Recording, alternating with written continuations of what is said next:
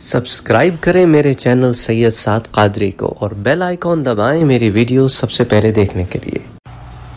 السلام علیکم ورحمۃ اللہ وبرکاتہ۔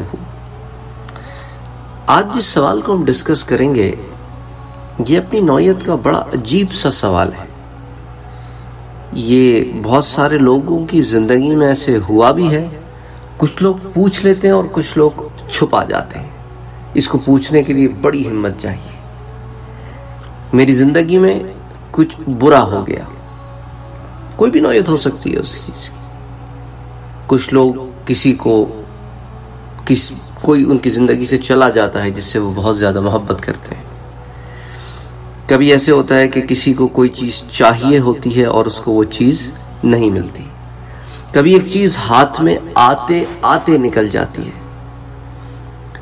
اور کبھی کبھی یہ معاملات نوجوانوں میں بھی دیکھے گئے ہیں کہ وہ کسی کو چاہتے ہیں، کسی سے محبت کرتے ہیں اور وہ شخص انہیں نہیں ملتا۔ اب اس کی ٹیکنیکلٹیز سے تو ہم اور آپ پہلے بھی واقف ہیں کہ یہ چیز جو ہے وہ کتنی غلط ہے۔ اسلام میں اس چیز کی کوئی اجازت نہیں ہے کہ یہ بوائے فرینڈ گرل فرینڈ والے ریلیشن شپس اسٹیبلش کیے جائیں اور اس کے اوپر پھر بعد میں رویا جائے۔ اسلام نے ایک صحیح اور سیدھی اور سچی راہ ہی بتائی ہے کہ نکاح ایک ذریعہ ہے جس کے ذریعے ہی تعلقات استوار ہو سکتے ہیں، اس کے علاوہ اور کوئی ذریعہ نہیں ہے۔ اور پھر نکاح کے پیغام بھیجنے کا ایک طریقہ ہے، جو مہذبانہ طریقہ ہے اور ولی کی اجازت سے پھر نکاح ہوگا اور پھر وہ تمہاری بیوی ہوگی۔ لیکن اس کے علاوہ کسی اور چیز کی شریعت نے اجازت نہیں تھی۔ تو بہرحال سوال یہ ہوتا ہے کہ جب وہ چیزیں ہمیں ملتی نہیں تو ہم گلا کرنے لگتے ہیں گلا اور گلا کس سے کرتے ہیں؟ اس سے جو ہر چیز کا مالک ہے۔ پروردگار اللہ عز و جل۔ اور بعض دفعہ ایک اور چیز جو دیکھنے میں آئی ہے، وہ یہ ہے کہ اس کا ایک اثر ہوتا ہے۔ اور بعض لوگ اپنی حدوں کو کراس کر لیتے ہیں۔ اور حدوں کو کراس کس طرح کرتے ہیں؟ وہ حدوں کو کراس اس طرح کرتے ہیں کہ زد میں اللہ تعالیٰ کی بعض عبادات کو چھوڑ دیتے ہیں۔ کہ جب اللہ تعالیٰ جو ہے، اس نے میرے ساتھ یہ کیا تو میں اب نماز ہی نہیں پڑھ رہا یا یہ نماز نہیں پڑھا۔ ایک تو غیانی ہے نا، انسان کے بدن میں ایک سرکشی بھی ہے۔ اس سے وہ اپنے تئیں اپنا نقصان کر رہے ہوتے ہیں۔ کیونکہ اللہ تعالیٰ نے اس بات کو بڑے واضح طور پر فرمایا ہے اس حدیث کو میں نے آپ سے پہلے بھی ڈسکس کیا تھا کہ اگر تم سارے کے سارے برے ہو جاؤ، تو میری سلطنت میں سے کچھ کمی نہیں کر سکتے اور تم سارے کے سارے اچھے ہو جاؤ، تو میری سلطنت میں کسی چیز کا اضافہ نہیں کر سکتے۔ تو یہ سرکشی اور یہ تغیانی اور یہ نافرمانی جو ہے، وہ تمہارے لیے موجب عذاب ہے موجب گناہ ہے۔ اللہ تعالیٰ پاک ہے ان تمام چیزوں سے۔ ان کی عبادت اللہ تعالیٰ کی عبادت اس لیے کی جاتی ہے کہ وہ عبادت کے لائق ہے یہ نہیں کہ اسے ہماری عبادت کی ضرورت ہے، بلکہ ہمیں اس چیز کی ضرورت ہے کہ ہم اللہ تعالیٰ کی عبادت کریں۔ تو بعض دفعہ کیا ہوتا ہے کہ لوگ سرکشی میں ایموشنز میں، جذبات میں آ کر ایسے کلمات کہہ بیٹھتے ہیں جس میں گلا ہوتا ہے۔ میرے ساتھ کیوں کیا؟ بعض لوگ تو عجیب و غریب سی باتیں بھی کرتے ہیں، اس میں یہی بات ہوگی کہ ایک بچے کو چاکلیٹ دکھائے اور دی نہیں۔ مختلف قسم کی باتیں لوگ کرتے ہیں۔ ان میں سے بعض باتیں بہت ڈینجرس ہوتی ہیں۔ بہت ڈینجرس ہوتی ہیں۔ اور اسلام کے کسی رکن کو جان بوجھ کر چھوڑ دینا، یہ تو ایک ایسی بہت ہی کلوز ایک باؤنڈری لائن ہے جو کہ بعض علماء کے نزدیک تو وہ کہتے ہیں کہ یہ تو بالکل آپ کفر کی سرحد پہ چل رہے ہیں کہ آپ نے جان بوجھ کر ایک چیز چھوڑ دی جو کہ آپ پر فرض کی گئی تھی۔ ایک ہوتا ہے چھوڑنا اور ایک ہوتا ہے انکار کرنا۔ تو انکار میں تو کفر ہے کہ اگر کوئی شخص نماز کا انکار کر دے تو وہ کافر ہو جائے گا۔ زکوٰۃ کا انکار کر دے تو کافر ہو جائے گا۔ یہی وجہ وجہ تھی کہ حضرت ابو بکر صدیق رضی اللہ تعالیٰ عنہ نے ان لوگوں نے جنہوں نے زکوٰۃ دینے سے انکار کیا منع کیا۔ اس لیے ان کو کہتے ہیں مانعین زکوٰۃ تو ان کو ان پر مرتد کی شک لگائی گئی کہ اسلام سے پھر گئے ہیں۔ حالانکہ وہ نماز وغیرہ سب پڑھتے تھے، روزے سب رکھتے تھے، لیکن زکوٰۃ سے انکار کرتے تھے۔ اور زکوٰۃ اسلام کا ایک جز ہے، کسی بھی ایک رکن کا انکار، سب کا انکار ہوتا ہے۔ تو انکار تو کفر ہے، لیکن نا عمل کرنا، ضد میں آ کر، یہ بہت سخت گناہ ہے۔ تو اس لیے اگر اس قسم کی کسی کیفیت میں آپ آئیں تو اپنے آپ کو کنٹرول کریں۔ کیونکہ at the end of the day آپ بندے ہیں اور بندے کو بندے والا ہی سلوک راس آتا ہے۔ اسی لیے اپنے آپ کو اپنے ذات سے بڑا نہ کریں۔ اور اگر اس قسم کے کسی بھی خیالات اور کیفیات سے گزرتے ہیں تو اپنے آپ کو یہ بات آپ کو سمجھانے کی ضرورت ہے کہ اللہ تعالیٰ اپنے بندوں کے لیے وہ کرتا ہے جو ان بندوں کے حق میں بہتر ہوتا ہے۔ اور ان چیزوں کو جن کو تم اپنے لیے اچھا سمجھتے ہو، کبھی وہ چیزیں تمہارے لیے اچھی نہیں ہوتی۔ عسا ان تکراہو شیئا وہوا خیر لکم۔ بعض دفعہ تم چیزوں سے کراہیت محسوس کرتے ہو، پسند نہیں کرتے ان کو کہ یہ تمہارے ساتھ ہو، پر وہ تمہارے لیے اچھی ہوتی ہیں۔ عسا ان تحبو شیئا وہوا شر لکم بعض دفعہ تم چیزوں سے شدید محبت کرتے ہو اور چاہتے ہو کہ وہ تمہیں مل جائے، پر وہ تمہارے حق میں اچھی نہیں ہوتی۔ بعض دفعہ انسان کہتا ہے کہ یار، یہ لڑکی یار، یہ لڑکی ملنی چاہیے یار، وہ نہیں ملتی۔ اب پتہ بڑا پریشان ہوتا ہے، بڑا اداس ہوتا ہے کہ بس اس کے لیے تو دنیا ختم ہو گئی۔ حالانکہ دنیا ختم نہیں ہوتی۔ وہ بندی شاید اس کے لیے بیچ نہیں ہوتی۔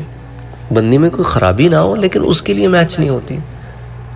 کیونکہ یہ بہت بڑے دکھ کی بات ہو کہ وہ جس کو اتنا پسند کرتا ہے، وہ اس کے گھر میں آ جائے اور اس کے بعد نب نہ سکے۔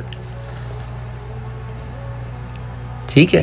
کبھی ایسے بھی ہوتا ہے کہ ایک لڑکی جو ہے وہ آپ کے آنے والے نسل کے لیے اچھی نہیں ہوتی یا ایک لڑکا آپ کے ہونے والے بچوں کے لیے اچھا ثابت نہیں ہو سکتا۔ ہوتا ہے نا، ہر ایک کی ایک فطرت ہوتی ہے، ایک انفلوئنس ہوتا ہے، ایک مزاج ہوتا ہے، ایک تربیت ہوتی ہے۔ تو اللہ تعالیٰ اس طرح آپ کو پروٹیکٹ کرتا ہے کہ آنے والے زمانے میں یہ شخص جو تمہارے بچے ہوں گے، ان کا اچھا باپ ثابت نہیں ہوگا۔ اس میں ذمہ داریوں کی کمی ہے، یا یہ غصے کا تیز ہے، یا اس میں تربیت کی کمی ہے یہ دنیا کی طرف بہت مائل ہے، اولاد کو دین سے دور کر دے گا۔ بہت سارے انفلوئنسز ہو سکتے ہیں۔ اور یہی چیز پھر خواتین کی طرف بھی لاگو ہو سکتی ہے کہ بھئی تمہارے آنے والی نسل اس طرح یہ پروان نہیں چڑھائے گی جس طرح اللہ تعالیٰ چاہتا ہے کہ تمہاری نسل پروان چڑھے۔ ایک اللہ تعالیٰ کا ایک پلان ہے۔ اس پلان کے مطابق ساری چیزیں ہوتی۔ اس پلان میں آپ کو ایسی چیزیں نظر آئیں گی کہ آپ حیران ہو جائیں گے کہ نو علیہ السلام اللہ کے رسول ہیں، ان کا بیٹا کنان غرق ہو گیا۔ فرعون دنیا کا ظالم جابر بادشاہ اور جو بنی اسرائیل کے بچوں کو قتل کر رہا ہے۔ اور اس کے اپنے گھر میں بنی اسرائیل کا ایک بچہ موسیٰ علیہ السلام پرورش پا رہے ہیں۔ اسی زمانے میں۔ اللہ تعالیٰ کا نظام ہے، اس کی مرضی۔ تو بہرحال، یعقوب علیہ السلام ہیں ساتھ گیارہ بیٹے ہیں، لیکن دل اس ایک بچے میں ہے جو دور ہے۔ وہ دور جو بچہ ہے، پاس کنویں میں پڑا ہے، لیکن یاسف یا یعقوب علیہ السلام کو یوسف علیہ السلام کے بارے میں کچھ پتہ نہیں چلتا۔ اور جب یوسف علیہ السلام اپنی قمیص دے کر اپنے بھائی کو کئی سالوں کے بعد بھیجتے ہیں کہ جاؤ، یہ قمیص لے جا کر میرے والد کے چہرے پہ ڈال دو، ان کی بینائی ٹھیک ہو جائے گی۔ تو اب جب وہ قمیص لے کے مصر سے نکلتا ہے، تو یعقوب علیہ السلام کنان میں کہتے ہیں کہ مجھے یوسف کی خوشبو آ رہی ہے۔ اللہ اکبر۔ چند میل دور یوسف علیہ السلام کنویں میں ہے، خوشبو نہیں آتی۔ وہاں مصر سے قمیص لے کے چلا ہے، خوشبو آ رہی ہے۔ اللہ کی مرضی، جب جو چاہے، جب چاہے، جو جو جس کے ساتھ جیسا چاہے کام کرے، وہ قادر مطلق ہے۔ وہ رب ہے، وہ پروردگار ہے، وہ الہ ہے۔ اس کی جو تمام صفات ہیں، وہ اسی کے لیے ہیں اور اس کے علاوہ کوئی ان صفات کا لائق نہیں ہے۔ وہ سمیع ہیں، سب کچھ سنتے ہیں، وہ بصیر ہیں، سب کچھ دیکھتے ہیں۔ وہ علیم ہیں، سب کچھ جانتے ہیں۔ تو اللہ تعالیٰ جو سب کچھ جانتا ہے، سب کچھ سنتا ہے، ہر چیز سے باخبر ہے، وہ ایسا رب ہے، وہ اپنے بندوں کو چھوڑتا نہیں ہے، وہ اپنے بندوں کو سے بہت محبت کرتا ہے۔ تو جو اتنی محبت کرتا ہو اور ان کے بارے میں سب کچھ جانتا ہو، وہ ان بندوں کے حق میں وہ فیصلہ کرتا ہے جو ان بندوں کے لیے اچھا اب مسئلہ ہوتا ہے بندوں کا۔ کہ بندے بندے بن کے نہیں رہتے، وہ سرکش ہو جاتے ہیں، وہ گناہوں میں پڑ جاتے ہیں، وہ کفر کرتے ہیں، شرک کرتے ہیں۔ تو اگر کوئی اس قسم کی کسی سچویشن میں آ جائے اور اس نے جلال میں، غصے میں آ کے کوئی گلے کر لیے ہیں، تو توبہ کرے، تائب ہو جائے۔ اور اللہ سے معافی مانگے۔ اور آئندہ اس قسم کے خیالات کے دل میں، ذہن میں، دماغ میں آنے سے اپنے آپ کو روکے۔ اور اگر اس طرح کے خیالات آئیں تو ان خیالات کو دبائے۔ اور ان کو دبانے کا ایک سب سے اچھا ذریعہ یہ ہے کہ یہ خیالات ابھر کے اوپر کیوں آ رہے ہیں؟ کیونکہ میرے اندر غرور پیدا ہو گیا ہے کہ میں کچھ ہوں۔ مجھے کچھ ملنا چاہیے تھا جو مجھے نہیں ملا۔ یہ جو تمہاری میں ہے، یہ تمہاری انا ہے، تمہاری ایگو ہے، اس میں کو کچل دو، کیونکہ تم بندے ہو، تم عبد ہو۔ صبغت اللہ اللہ کے رنگ میں اپنے آپ کو رنگ دو کہ ومن احسن من اللہ صبغا اللہ کے رنگ سے اچھا کس کا رنگ ہے؟ اور یاد رکھو، وَنَحْنُ لَهُ عَابِدُونَ۔ ہم اسی کی عبادت کرتے ہیں، اسی کے بندے ہیں۔ جو بندہ ہوتا ہے، وہ غلام ہوتا ہے۔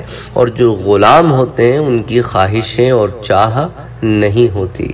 ان کو جو آقا دیتا ہے وہ اس میں خوش رہتے ہیں، اور اگر کبھی نہیں دیتا تو اس پر شکوا نہیں کرتے۔ کیونکہ آقا کو پتا ہے کہ غلام کو کیا دینا ہے، کب دینا ہے، کتنا دینا ہے، کیسے دینا ہے۔ وَمَا عَلَيْنَا إِلَّا الْبَلَاغ۔